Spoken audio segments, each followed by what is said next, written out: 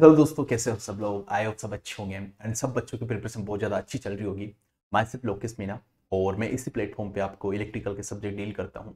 तो आज हम बात करते हैं एडमिट कार्ड की, क्योंकि आपका एग्ज़ाम्स होने वाला है एस एस का फोर्टीन फिफ्टीन सिक्सटीन को, ओके? तो यहाँ पे आप एसएससी की वेबसाइट में जाओगे तो यहाँ पे सारे के सारे रीजन से आपने जिस भी रीजन से फॉर्म फिलअप किया है, चाहे ईस्टर्न रीजन हो या सदर्न हो या नदन हो, जो जिस भी रीजन से आपका हो तो आप अभी आपकी सिटी चेक कर सकते हो, आप क्लिक करके यहाँ पे जो भी आपके पास ईस्टर्न रीजन है, अगर आप ईस्टर्न रीजन से आते हो या सदर्न रीजन से आते हो या वेस्टर्न रीजन से आते हो तो क्लिक करके आप अपने रोल नंबर डालिए या अपना नाम, अपने फादर्स का नाम डालिए और अपनी डेट ऑफ़ बर्थ डालिए और वहाँ पर चेक कर सकते हो कि आपका एडमिट कार्ड या आपका लोकेशन कौन सी सिटी के अंदर है।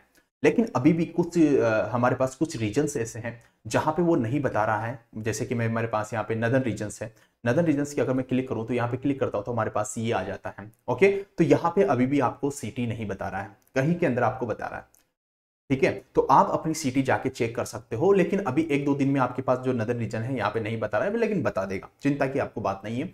और कहीं बच्चे पूछ रहे हैं कि, सर एडमिट कार्ड कब तक आएगा? क्योंकि एग्ज़ाम पास में आ रहा है फोर्टीन एंड फिफ्टीन को हमारा एग्ज़ाम्स होने वाला है। तो दोस्त, मैं आप लोगों को बता देता हूँ कि जो आपका एडमिट कार्ड है, वो 10 तारीख तक रिलीज़ हो जाएगा। ओके? 10 तारीख तक आपको बता दिया जाएगा। लेकिन अभी आपकी सिटी लोकेटेड है कि आप किस सिटी में आपका एग्ज़ाम होने वाला है और कितनी तारीख को आपका एग्ज़ाम है 14 या 15 को या 16 को अभी आप ये चेक कर सकते हो। और कुछ रीजन के अंदर नहीं बताया जैसे कि मैंने अभी बताया ना नदर रीजन के अंदर नहीं बता रखा है कि आपका अभी लोकेशन कौन सी सिटी के अंदर आया है। तो चिंता करने की आपको बात नहीं है हमेशा से एस एस हमेशा दो से पाँच दिन पहले ही अपना एडमिट कार्ड रिलीज़ करता है ओके तो दस तारीख तक आपका एडमिट कार्ड आपका रिलीज़ हो जाएगा ओके चलिए थैंक यू और इलेक्ट्रिकल सब्जेक्ट पढ़ने के लिए आप इस चैनल से जुड़ सकते हो और यहाँ पे आपकी मैराथन चल रही है आप लोगों को पता होगा। एक मैराथन में कंप्लीट कर चुका हूँ कल ही ओके आ, कल नहीं परसों कंप्लीट कर चुका हूँ और आपकी एक कल होने वाली है तो चार टेस्ट मैंने किए थे जहाँ पे मोस्ट एक्सपेक्टेड क्वेश्चन से इलेक्ट्रिकल के। तो सारे बच्चे ज़रूर ज्वाइन करिएगा, क्योंकि वो, अगर वो क्वेश्चन आप लोग कर लेते हो ना तो मैं बोल रहा हूँ श्योर